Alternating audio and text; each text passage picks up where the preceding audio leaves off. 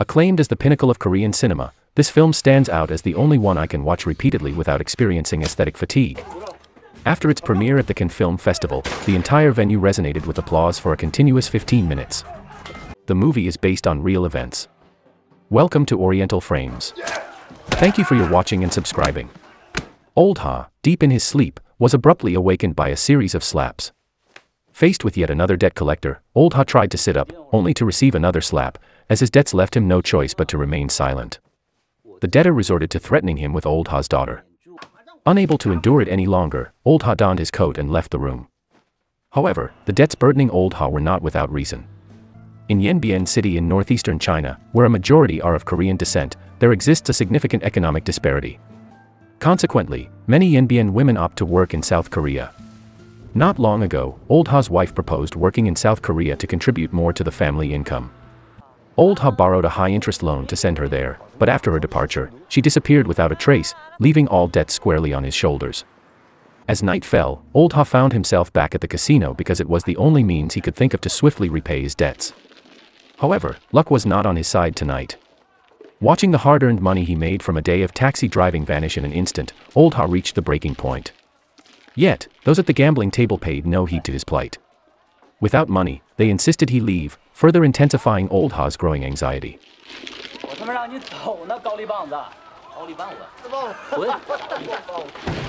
With this sudden eruption of emotions, Old Ha lifted the table and swung it towards the other person. Fortunately, the crowded casino prevented the situation from escalating further, but Old Ha's fierce fighting scene caught the eye of the casino owner, Old Myun. In the early hours of the morning, Old Ha, with a bruised and swollen face, returned home Staring at the shattered wedding photo with his wife, Old Ha, in a daze, fell asleep in the living room. But the next day, upon waking up, the debt collector surprisingly mentioned some good news to share. Soon after, he was taken to Old Myun. It turned out that the conflict at the casino the previous day made Old Myun appreciate Old Ha's fighting skills. After a brief self-introduction, Old Myun took him aside and explained the reason for bringing him over. 네 한국 가 사람 하나 죽이고 오라. But Old Ha merely glanced at him, dismissing it as a joke. However, when Old Myun went on to mention that, if things went smoothly, not only could he help clear Old Ha's debts, but he could also assist in searching for his wife along the way, Old Ha began to seriously contemplate. Perhaps, this could be his only chance at a fresh start.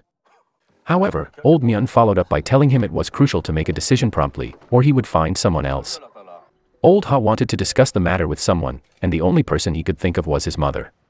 Despite leading a similarly impoverished life, his mother always earnestly advised Old Ha to look forward. 너도 얼른 돈 벌어 한국 가라. 가서 고업은 한국 애미나 만나. 그년 보란 듯이 잘 살아라. Time spent with family always seems to pass quickly. Watching his daughter sleep peacefully at night, Old Ha thought staying with his family wasn't a bad idea. However, when he closed his eyes, all he could see were images of his wife with someone else. This night, he woke up once again from a disturbing dream, realizing he had to take action. Late at night, Old Ha went to the casino. However, just as he received the operational details from Old Myun, he was threatened. If he tried to escape using this information, not only would he get nothing, but his family would also be in danger. Next, Old Myun tossed an envelope at him containing a prepaid bank book. Old Myun promised to reveal the bank book's password once Old Ha successfully obtained the target's thumb. This close to home payment made Old Ha unable to hold back a smile. Early the next morning, he set off, unaware of the dangers of this overseas journey. After many twists and turns, he arrived at the boat location Old Myun had told him about. After a long day and night, the boat finally crossed the Yellow Sea. Watching the well-lit shore, Old Ha surprisingly felt a twinge of excitement. But at dawn, while having breakfast at the pier, Snakehead informed him that the boat would return in 10 days. If he missed it, there would be no way back. Looking at the embarkation point on paper, Old Ha had no choice but to nod in agreement. From the pier to Seoul, it was already night. Despite the bustling streets of Seoul, Old Ha chose a secluded hotel to stay. Inside, he immediately wrote down the operational details. The next day, following the address on the paper, Old Ha entered a building. He quickly searched the mailboxes on the ground floor and learned that the target, Old Kim, resided on the sixth floor. However, when he entered the elevator, the button for the sixth floor seemed unresponsive. Helplessly, he pressed the button for the fifth floor, and when the elevator doors opened, a metal gate blocked his way. The elevator only went up to this point.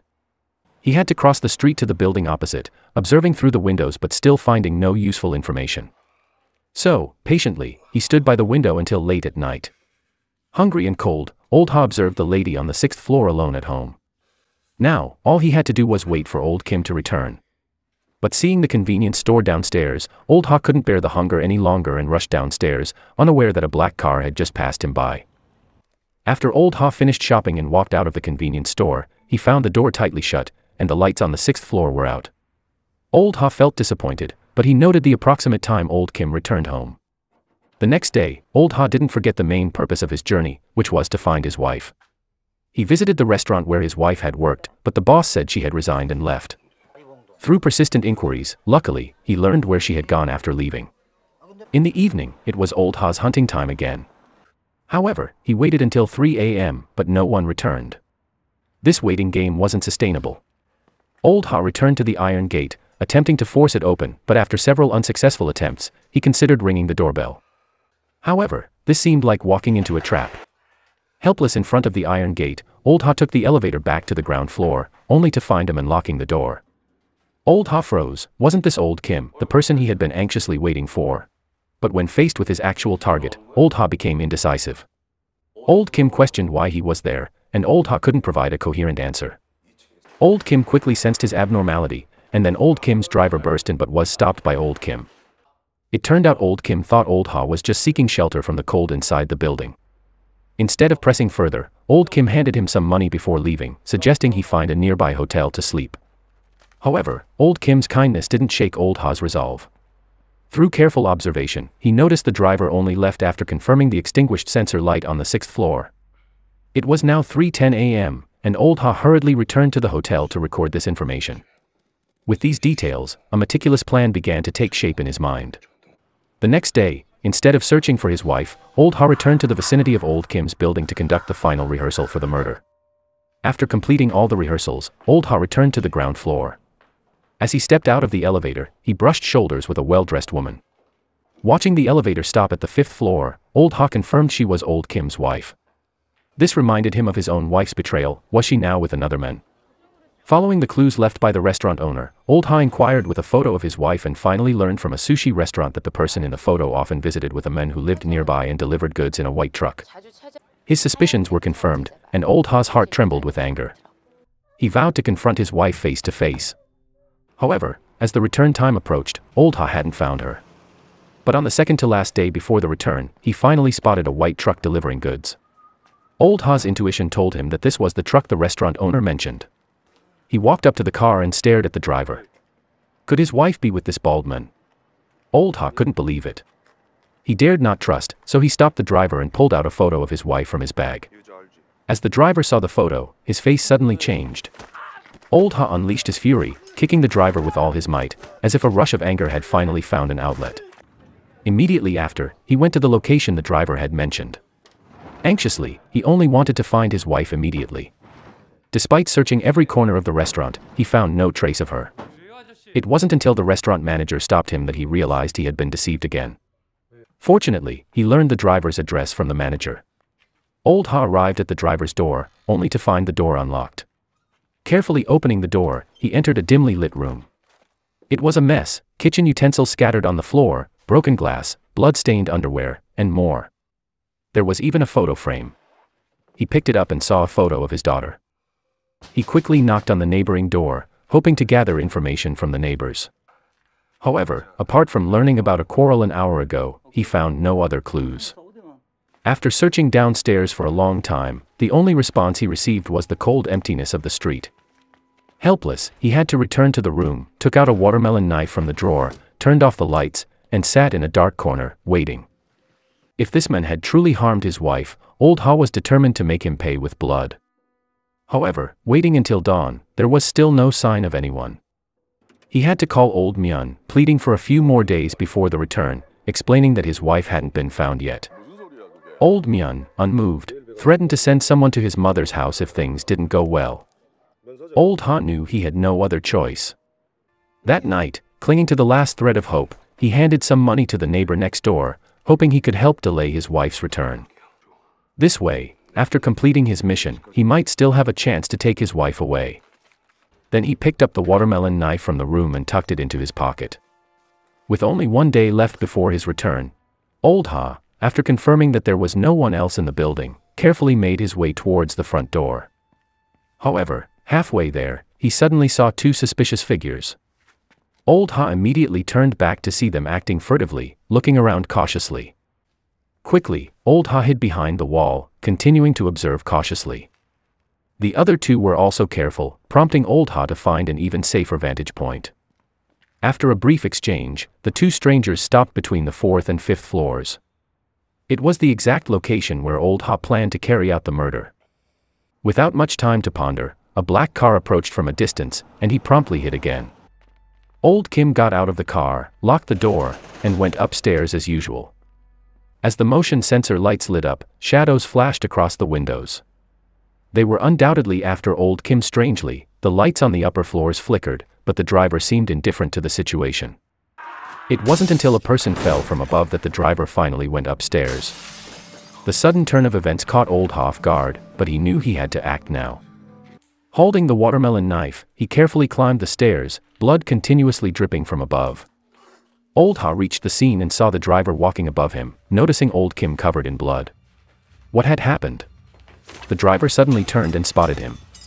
Though confused, the driver showed from his eyes that he had no intention of letting any witnesses go. However, Old Ha, with his extensive combat experience, was no ordinary onlooker. In no time, he forcefully pushed the driver down the stairs, uncaring of his fate.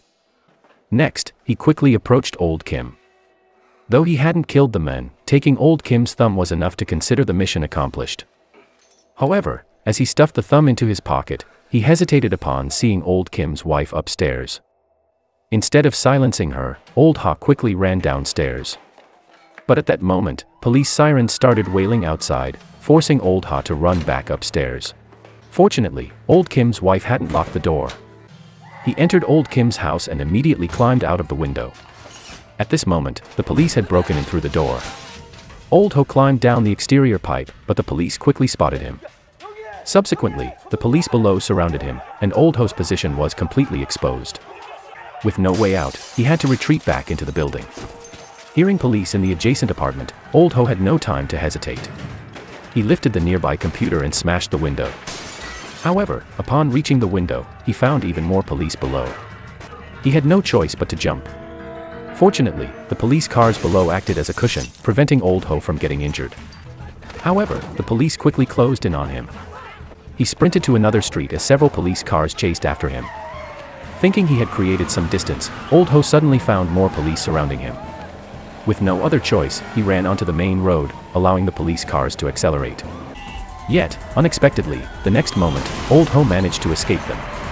When he arrived at the return address, he discovered it was a construction site. He double-checked the address, a sense of unease growing within him. He tried calling Old Myun, but the number was not in service. Realizing he had been betrayed, Old Ho refused to sit idly by. He retraced the bus route to the nearby dock, found a small motel, rested for the night, and continued his journey to the dock the next day. However, halfway there, the police had set up a checkpoint and stopped the vehicle. As the police were about to board the bus, Old Ho panicked. He could only use the brim of his cap to cover his face. The police quickly noticed his unusual behavior and asked for his ID. Old Ho, however, was only thinking about how to escape. Watching the young police officer in front of him, Old Ha seized the opportunity to tackle him, swiftly kicking the nearby car window and leaping outside. However, as he landed, a gun was pointed directly at him, leaving Old Ha unable to make any sudden moves. He cautiously stood up. At that moment, the police officer unexpectedly looked back at his colleague. Seizing this chance, Old Ha quickly tried to disarm him, Realizing the situation was spiraling out of control, the police officer signaled his colleagues to shoot, but the bullet ended up hitting the officer himself. The police officers behind him were shocked, and Old Ha was momentarily stunned. Seeing their attention diverted, Old Ha knew it was his only chance to escape. However, the police quickly regained their composure and fired several shots in his direction. Old Ha was hit, but fortunately, the injury wasn't critical, he continued running into the woods, with the police in hot pursuit. As more police officers gathered below, Old Ha desperately ran deeper into the forest. Soon, a large contingent of law enforcement initiated a thorough search. Strangely, a group of thugs appeared at the scene. Their leader, thinking Old Ha was hired by the driver, sought to eliminate him before the police traced him back, not realizing that Old Ha was manipulated by Old Myan. Finally reaching the depths of the woods, Old Ha tore off his sock, enduring the pain to bandage the gunshot wound on his arm. While the physical pain was bearable, the sense of helplessness and despair overwhelmed him. All Old Ha wanted was to find his wife and return to a normal life, but as long as he was alive, he had no intention of giving up. Navigating through the jungle, climbing hills, and relying on the map he carried, Old Ha traversed mountains until he reached the pier where he initially boarded the boat. However, upon opening the doors, he found the place deserted. After confirming multiple times, he searched for food in the freezer, finding only two carrots as everything else had spoiled. Suddenly, he noticed a box of potatoes nearby. Hungry, Old Ha started eating the potatoes while watching TV, savoring the rare moment of tranquility. Unsure of his next steps, he suddenly noticed that the lighter in the room resembled the one discarded by the snakehead that day. Following this clue, he traced the hotel from the lighter. Sure enough, near a car, Old Ha found the snakehead. A surge of anger rushed over him, and he wanted the snakehead to face the consequences of deceiving him. Questioning why they did this, the snakehead claimed to have acted according to Old Myan's orders. However, this was clearly not the answer Old Ha wanted, and he continued to vent his anger forcefully. Nevertheless, Old Ha spared his life because he needed the men to make a call to arrange for a boat, enabling him to return to China. Under Old Ha's coercion, the men had no choice but to comply. The return journey was set for tonight at a different pier. Old Ha, after ensuring the men wasn't up to any mischief, felt a sigh of relief. Before departing in the evening, he looked at the thumb he had severed, as if it were mocking his foolishness. At that moment, a news report came on the television, stating that a middle-aged Korean Chinese woman had been murdered, and surprisingly, the perpetrator was the driver of the white truck. Upon recalling the blood-stained and filthy room, Old Ha felt a strong sense of unease. Could his wife have been killed by this man? He hastily called the police station to confirm the identity of the deceased. However, besides mechanical responses from the customer service, they didn't provide any information. Frustrated, Old Ha knew that visiting the police station in person might confirm the news, but it was akin to walking into a trap. After meeting the contact as planned, Old Ha was taken to the pier for the boat. Unbeknownst to him, simultaneously, Old Mian, along with his men, arrived at Old Ha's recent residence, intending to eliminate him completely. The gang leader, unable to find Old Ha, decided to eliminate Old Mian, his superior, to prevent any traces leading back to him if Old Ha was caught by the police. So, the gang leader dispatched his subordinates to kill Old Myan in the Chinese-Korean border region. However, they unwittingly picked the wrong target. In a three-on-one ambush, only one of them survived.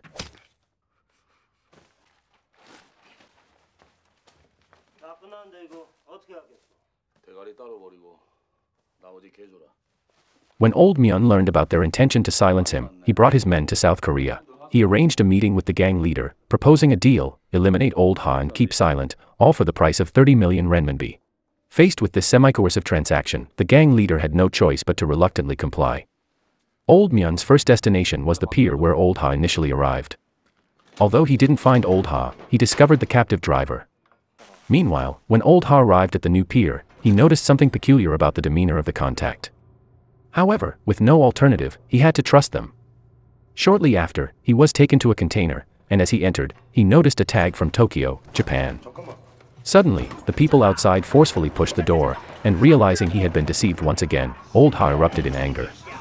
He managed to open a gap in the door, lifted the person outside with all his strength, and then, using a sharp knife, stabbed towards out. Finally, he pushed the door wide open. Realizing it was a trap and anticipating pursuers, Old Ha sprinted desperately toward the pier. To his surprise, the person chasing him turned out to be Old Myan. Spotting Old Ha through the gate, Old Myan saw him as a walking bag of money. Without much time to think, Old Ha had to act quickly as Old Myan and his men prepared to rush in. Surrounded on all sides, he chose to run in the direction with fewer people. After forcefully knocking down two pursuers, he got up and sprinted in the opposite direction. The relentless pursuers, armed with weapons, were numerous, and the path to the pier had no way out. With no alternative, Old Ha darted into a nearby ship. The relentless thugs chased him closely, and every exit was blocked. Arriving at the end of the pier with no escape route, Old Ha had no choice but to turn into the adjacent ship. The pursuers were in hot pursuit, each wielding a dangerous weapon. Upon reaching the ship, Old Ha entered the cabin. Despite knocking down two pursuers, he was still injured, and the relentless pursuers closed in. Running into the ship's hold, the pursuers were right behind him. However, when he reached a cabin door, he found it inexplicably locked, and the pursuers caught up. In a desperate struggle, Old Ha took a knife wound to his leg. Managing to grab an axe, he momentarily forced the thugs back. Finally, he opened the cabin door and barricaded himself at the other end. Facing overwhelming numbers, even with the axe, Old Ha couldn't hold them off for long. He fought fiercely while continuing to move forward. During the battle, he sustained another axe wound. Knowing he couldn't afford to stop at this moment, he pressed on. With every last ounce of strength, he climbed onto the deck, swinging the axe wildly. Although outnumbered, his ferocious and determined resistance kept the pursuers at bay. However, facing an overwhelming force, Old Ha was soon forced into a dead end on the deck. At this critical moment, a distant shout suddenly echoed.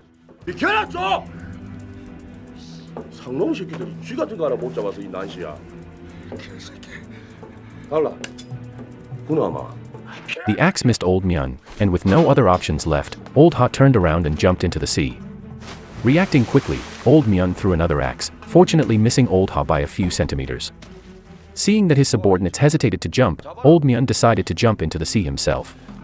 Old Ha, being more adept at swimming, reached the shore after a short time. However, the people who had come off the ship also arrived at his side. Old Ha desperately climbed up the shore and sprinted towards a large truck on the opposite side. Despite the stabbing pain in his injured leg, he managed to throw off the people around him, fell down, and then got back up. He finally entered the driver's cabin of the truck but the pursuers were hot on his heels. At that moment, Old Myun climbed ashore and witnessed Old Ha starting the truck. Old Myun, wielding an axe, rushed to the forefront of the crowd, forcefully pushing aside anyone obstructing him. Nobody escaped his notice. Driven by an even stronger will to survive, Old Ha used his freed left foot to kick away anyone blocking him. Despite landing on the ground, Old Myun did not give up the chase. Old Ha accelerated towards the entrance, but faced with the locked gate, he could only crash through it. Although the gate was successfully knocked down, the truck also overturned after the violent impact. Old Ha, struggling, crawled out of the driver's cabin. Seeing police cars approaching in the distance, he knew he had no time to catch his breath. He immediately approached another nearby car. Meanwhile, Old Myun also chased after him. As Old Ha started the car, Old Myun accelerated, following closely. However, let's not forget, Old Ha was a taxi driver. After successive violent collisions, Old Ha began to tire of the relentless assaults. Following a series of fierce and chaotic collisions, Old Myun, who had climbed down from the car, was covered in wounds. However, besides seeing the approaching police car, he found that Old Ha had disappeared without a trace. Having experienced a life-threatening ordeal, Old Ha's heart had already become numb. Yet, he had already decided on the next destination. On the other side, after failing to catch anyone, Old Myun, still holding back his anger, realized that killing Old Ha to silence him was unnecessary. Thinking about this, he quickly called the gang leader and arranged a meeting. Before that, he planned to take a short nap. However, as he drifted into sleep, he suddenly heard a strange noise outside the door. Old Myun immediately sensed that something was wrong. He quickly picked up a large bone from the ground, stood against the wall behind the door, and as expected, someone rushed in soon. Old Myun began wildly swinging the bone, and anyone attempting to ambush him was quickly incapacitated. The bone, though a melee weapon, could also be used for ranged attacks. Old Myun, like a war god, continued his fierce onslaught even after being stabbed in the abdomen. The upstairs foes were swiftly dealt with, and he proceeded to the ground floor in search of the gang leader. However, there was no sign of him, indicating that he had planned from the start to eliminate Old Myun as well. The bloody combat persisted, and just as Old Myun intended to help his allies across the hall, he was suddenly ambushed from behind. After another intense struggle, Old Myun took down the last opponent. He then poured gasoline, lit newspapers, and set the place ablaze, fueling his internal rage. Unexpectedly, Old Myun, armed with an axe, made his way to the gang leader's hideout. Meanwhile, after Old Ha escaped, he immediately sought confirmation of his wife's death at the police station. Despite the difficulty in identifying the body, the person who made the arrangement informed Old Ha that the deceased was indeed his wife. Devastated, Old Ha accepted, his voice hoarse from agreeing to pay for the funeral. Now aware that his wife's reluctance to send money home wasn't due to unwillingness, but rather the harsh conditions in the supposedly prosperous city, Old Ha understood he could never return. However, this realization fueled his determination to find and eliminate those responsible. First, he went to Old Kim's wife's house, assuring her safety, and gleaned information about Old Kim. Through bar staff at Old Kim's workplace, he found the driver's address, expecting to uncover details about his superior. After a thorough search, he discovered an old phone hidden in a bag of rice. Using the recorded phone numbers, he quickly traced them back to contacts, leading to the gang leader. Under brutal interrogation, the subordinate revealed the gang leader's involvement. Simultaneously, the gang leader called Old Ha, expressing his frustration. He had just found out that the person who hired Old Myun wasn't the driver but a man named Kim Young Won. This revelation meant the attempt to silence Old Ha was entirely unnecessary, as they had no connection whatsoever. But by the time the gang leader learned the truth, it was too late. He had angered the Yanbian war god. Old Myun, severely injured, fought his way to the basement, discovering the gang leader. As he descended the stairs alone, more than a dozen people retreated in fear. The gang leader turned pale. On the other side, learning about the gang leader's identity, Old Ha intended to settle the score. However, as he started the car, it was suddenly struck from the side. Old Ha lost consciousness, waking up later in the trunk of a car, overhearing two people in the front discussing how to kill him. Fortunately, he still had the knife in his bag. When the car finally stopped, Old Ha gripped the knife tightly. Simultaneously, with a swift axe throw, Old Myun eliminated everyone in the basement, leaving only the gang leader. In Old Myun's world, money mattered more than life itself. Leaving the gang leader alive meant Old Myun could exchange money for his own life. Politely, he asked the gang leader to go to his home to collect the money. In a society where resistance was futile, the gang leader reluctantly agreed. However, just as the two sat in the car, the gang leader unexpectedly opened the door. Despite having a broken leg, it was his only chance to escape. Old Myun couldn't allow him to get away, but the gang leader, not foolish, engaged in a surprise attack, worsening Old Myun's already severe injuries. Nevertheless, being the Yanbian war god, Old Myun, choosing money over life, resolved to kill the gang leader. In the heat of Old Myun's rage, the gang leader gradually became motionless. Yet, this final battle drained Old Myun of all his strength. Despite this, he calmly returned to the car. However, after driving a dozen meters, it marked the end of his life's journey. On the other side, Old Ha also suffered a knife wound, but the attacker, evidently not a professional, ended up falling from a high platform and died. Old Ha reached their car, severely injured, but seeking medical help wasn't an option. Inside the car, he discovered a business card. Upon closer inspection, he found the name Kim Young Won. In an instant, he seemed to grasp the truth. What he saw upon getting into the car was two lifeless bodies. The gang leader seemed to have a faint breath, muttering that old Kim had slept with his woman. By this point, old Ha had almost unraveled the entire situation, except for the identity of the person on the business card. Before seeking him out, Old Ha didn't forget to take his wife's ashes. Holding the urn, it provided him with the most peaceful sleep. The next day, he went to the address on the business card, a savings bank. Looking at the corresponding name on the counter, he focused on a person named Kim Young Won. However, to his surprise, sitting across from Kim was Old Kim's wife. Old Ha's brain had a momentary lapse, but he quickly realized that Old Kim's wife was also one of the masterminds behind the scenes. The other group included him and Kim Young Won. Glancing at the urn beside him, at that moment, his heart turned to ashes.